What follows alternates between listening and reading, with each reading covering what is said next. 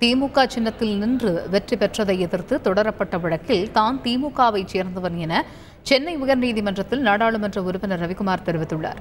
கடந்த இரண்டாயிரத்து பத்தொன்பதாம் ஆண்டு நடைபெற்ற நாடாளுமன்ற தேர்தலில் இந்திய ஜனநாயக கட்சி பாரிவேந்தர் விடுதலை சிறுத்தைகள் கட்சி ரவிக்குமார் உள்ளிட்டோர் திமுக சின்னத்தில் போட்டியிட்டு வெற்றி பெற்றனர். ஒரு கட்சியை சார்ந்தவர் வேறு கட்சி சின்னத்தில் போட்டியிட்டு வெற்றி பெற்றது செல்லாது என்று அறிவிக்க கோரி சென்னை உயர்நீதிமன்றத்தில் தேசிய மக்கள் சக்தி கட்சி தலைவர் எம் எல் ரவி வழக்கு தொடர்ந்திருந்தார். இந்த வழக்கில் விழுப்புரம் நாடாளுமன்ற உறுப்பினர் ரவிக்குமார் பதில் மனு தாக்கல் செய்துள்ளார். அதில் கடந்த இரண்டாயிரத்தி பத்தொன்பதாம் ஆண்டு நாடாளுமன்ற தேர்தல் வேட்புமனு தாக்கலின் போது தாம் ஒரு திமுக உறுப்பினர் எனவும் விடுதலை சிறுத்தைகள் கட்சி உறுப்பினர் அல்ல எனவும் தெரிவித்துள்ளார். மேலும் தன்னுடைய வெற்றியை எதிர்த்து தேர்தல் வழக்கு தான் தொடர முடியுமே தவிர பொதுநல வழக்கு தொடர முடியாது என்றும் குறிப்பிட்டுள்ளார்.